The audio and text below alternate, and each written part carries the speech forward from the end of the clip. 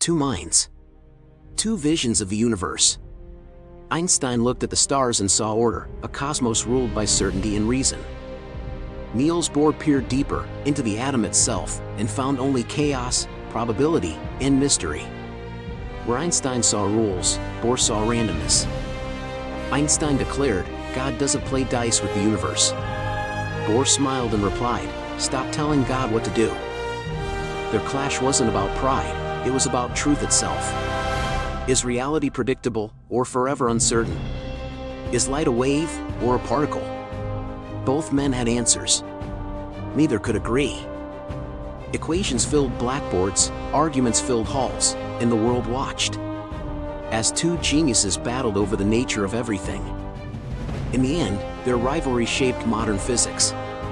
From nuclear energy to quantum computing, the echoes of their debate still define science today. Order versus chaos. Determinism versus uncertainty. Einstein versus Bohr, the greatest scientific duel of all time.